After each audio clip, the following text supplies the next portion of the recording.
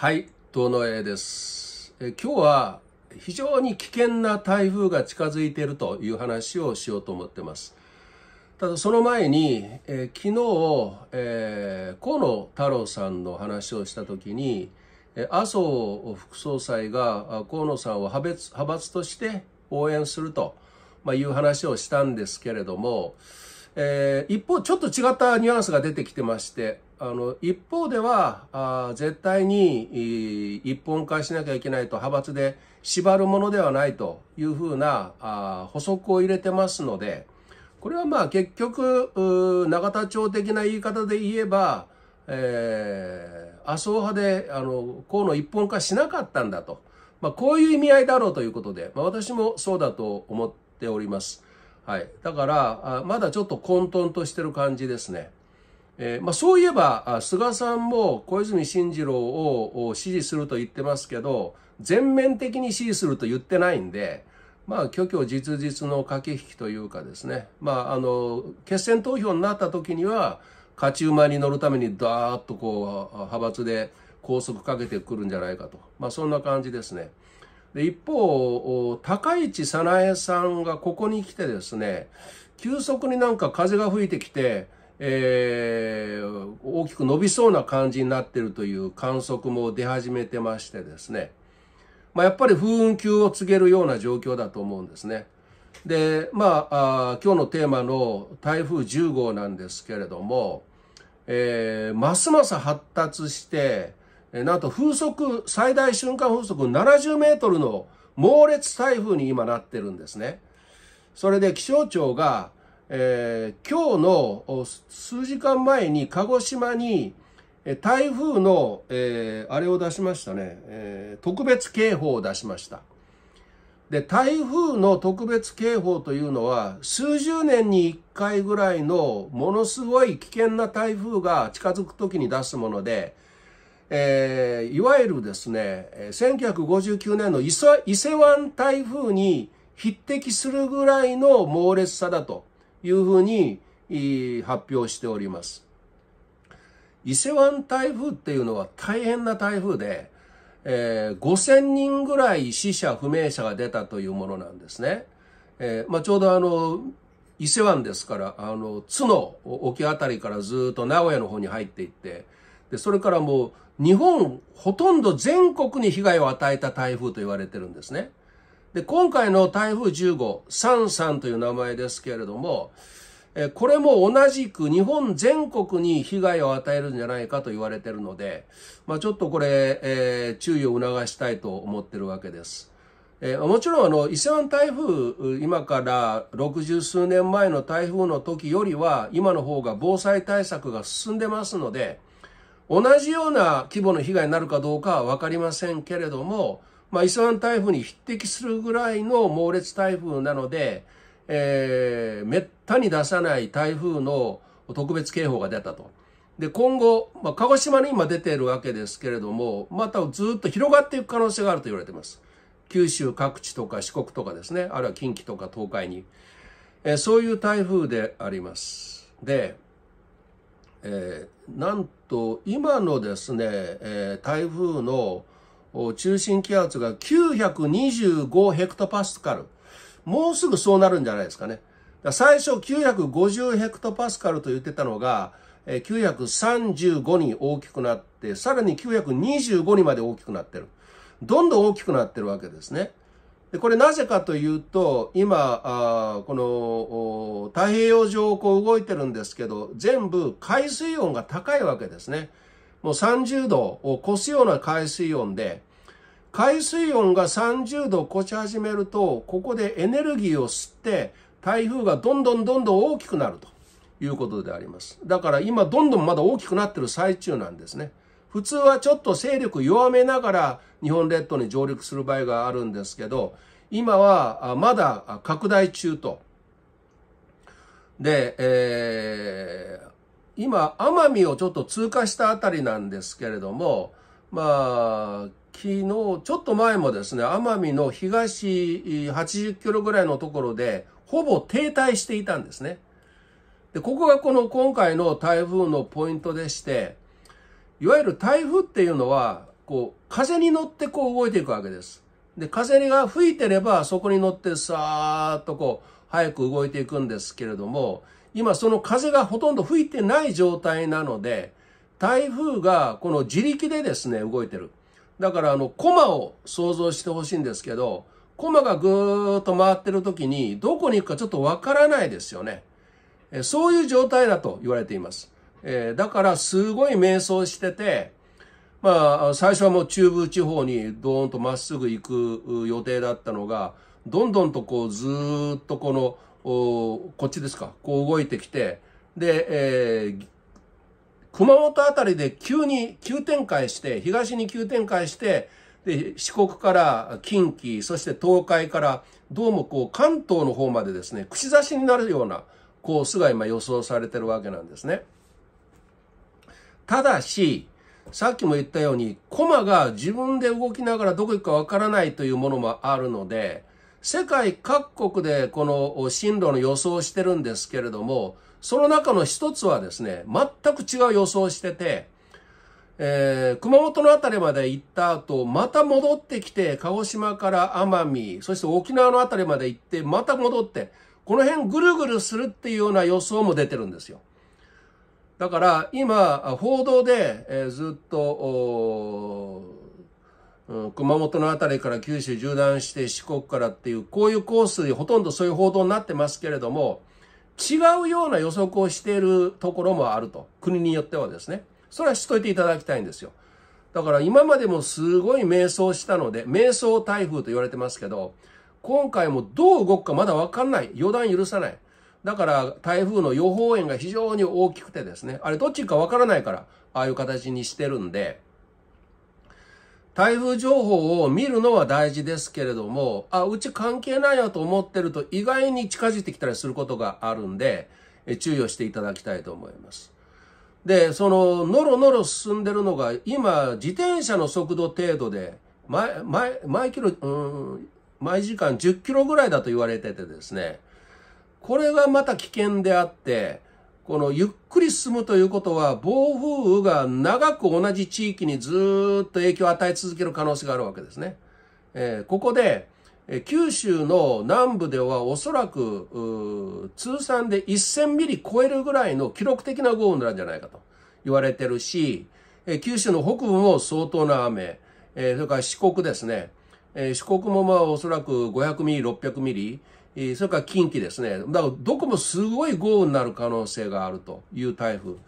それからですね、さらにさらに言うと、今、あの、構造上日本にすごい世界からこの湿気が集まってくるような構造になってるみたいなんですね。そもそもあのゲリラ豪雨はたくさん起きてましたよね。あれはこの日本に湿気がブワーっと湿度が上がっているところに高温でえ水蒸気でぐーっとこうあの蒸発しながらで上空に寒気なんかが来るとものすごく空気が不安定になってゲリラ雷雨になってたんですけどこの状態はまだずっと日本列島を覆ってますので台風からかなり離れた東海地方とか東北地方とか北海道でもですね、これゲリラ雷雨になって、えー、もう相当冠水被害が出たりしてるわけですね。だから台風から離れてるからといって全然安全じゃないと。しかもこの台風が伊勢湾台風並みの勢力で発達させながらゆっくり動いてると。非常に危険な状況だということをですね、ぜひ知っていただきたいと。で、えー、ついさっきですね、あの、物流各社が、ヤマト運輸とか、佐川急便が、物流がかなり遅延する可能性があるということを発表してますんで。ということはこれ相当な被害を日本各、日本全国にもたらすということを予想してるからこういうふうに言ってるわけですね。えー、もうこれから数日間経った時も物流止まる可能性ありますよと。もう九州の方の物流はもうかなり通常通り行かなくなる危険、可能性が高いですと。それから離島のですね、えー、種子島とか奄美はもう物流を停止してますと。だから奄美のテレビのあの情報だともうスーパーに食品のものがないですね。で、私今徳島にいますけど、あまあ物流止まるんだと思ってですね、まあさっきその食料の買い出しに行ってきましたけど、もうスーパーのものによっては棚に物がなくなりつつありますね。えー、だからお米、お米はね、あの、うん、普通の米はまだあったんですけど、いわゆるこの、なんていうんですか、あの、砂糖の美味しいごごご飯っていうんですか？あの、あの、電子レンジでチンをして食べれるようなやつはもう棚からは姿消してましたから。だから結構みんな、まあ、買い出しに走り始めてるので、えー、これから数日間の間にスーパーから物なくなる可能性もあるかもしれないんで、まあ、水と食料はですね、まあ、しっかりと数日間分は備蓄しておくことをお勧めしたいと思います。まあ、そういうことでですね、うん、伊勢湾台風並みですから、本当に1959年なんで、65年ぶりですね。それぐらいの大きな台風が来ようとしてる。しかも日本、これもほとんど日本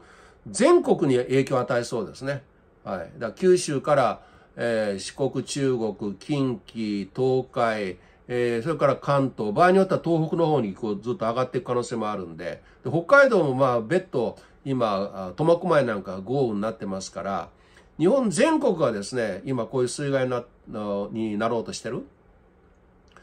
まあ、なんか今年はですね、えー、頭からあの能登半島の地震があり、ついこの間は宮崎沖で、えー、大きな地震があって、巨大地震注意ですね。南海トラフの注意が出たり、それからあの株価が大暴落してみたり、それから今回のこのイスラム台風みたいなやつが来てですね、もうこれ完全にこの複合危機の時代に入ったんじゃないかと。複合危機ってのは私の言い方ですけど、いろんなものが複合に起きてくる時代に入ったんじゃないかと。で、まあ、いや、世相も結構乱気流の状態ですし、いろんなことが起きやすい状況になってるのでですね。まあ、あの、自助努力でやっぱり備えるべきは備える必要があるんじゃないかと思ってます。えー、もちろんこういう時に、例えば自分の使命を果たすことが大事であるということでですね、こういう時こそ自分の使命を果たすという考え方は別途大事なんですけれども、一方でですね、自助努力で、えー、サバイバルをしていくという、こっちの方の考え方もあるわけですから、えー、これ、そういったことを全然せずにですね、とにかく使命さえ果たしておればいいんだと言ってて、で、食料も水もなくなったり、あるいは、あの、明かりが、停電になってですね、明かりがなくなって困ったりとか、いうのが、例えば祈りなら祈りで全部解決するかって言ったら、そんなこともないと思うんで。で、そういうところで第一撃で行動がもうできなくなってしまったら、使命の果たしようもないと思ってますんで、使命を果たすためにも、こういうふうなサバイバル、自助努力は必要だというふうに私は考えておりますから、まあこういうかなりこれ、今回の台風はですね、危険な台風になってますから。で、本当にゆっくりゆっくり進んでてですね、えー、だんだん遅くなってるんですよね。だから、29日、明日の夜ぐらいに南九州の南部に、上陸をして、30日が四国あたり、で31日が、えー、東海、えそれから関東に行くというふうな予想があって、1日が東北と言われてますけど、これまだ遅れる可能性があるかもしれないと思ってるんですね。まだ1日ぐらい遅れてですね、ゆっくりやってくる。えですから影響が長く続いて、その間にですね、河川が氾濫していって、で、河川のこの警報が、え5段階全部であるんですけど、一番この危ないのは特別警報なんですね、5段階。で、特別警報になった時にはもうすでに河川氾濫してますから、そこから逃げるのはもう無理だと言われてるわけですね。えー、だから特別警報の4の段階で、危険っていう警報が出た段階でもうすぐに避難しないと。特に河川の氾濫しやすいところに住んでる人ですね。え、こういうところの人はすぐにもう、その段階で避難しないと、5になったらもう氾濫してますから、その時外出たらですね、あの、下に川があるのに知らずに歩いてガバンと川に落ちたらもう終わりですから。もう急流の中に飲み込まれて、もうあの生きて帰れませんので。だから4の段階で行かなきゃいけないし、それから、あの、こういうふうな河川の氾濫とか土砂崩れはですね、同じ場所で9割以上起こるというふうに言われてるので、だから、ハザードマップ、ポータルサイトというのがですね、国土交通省から出てるわけです。あの、この概要欄に貼っときますんで、そのハザードマップにネットで入ればですね、そこに自分の住所を入れれば、自分の地域の周りでどんな河川の氾濫があったのか、ここは氾濫しやすい場所か、土砂崩れがありやすい場所かっていうのが一目瞭然になりますんで、もし自宅がそこに何らかかかってるんであれば、これからの数日間、警報には十分注意をしていただきたいと思います。え4までに逃げないと、5になったらもう逃げて遅いですから、えそれをですね、注意喚起をして、まあ何かとですね、えー、乱気流の時代、複合危機の時代に入ったと思うので、我々はこれまでとは違う心構えで、えー、サバイバルをするべきだし、こういう中でまた逆転打を打って使命を果たす、こういうチャンスも生まれてくるんではないかと思っておりますので、まあそういうことをですね、今日は急ぎお伝えをいたしました。えー、ありがとうございます。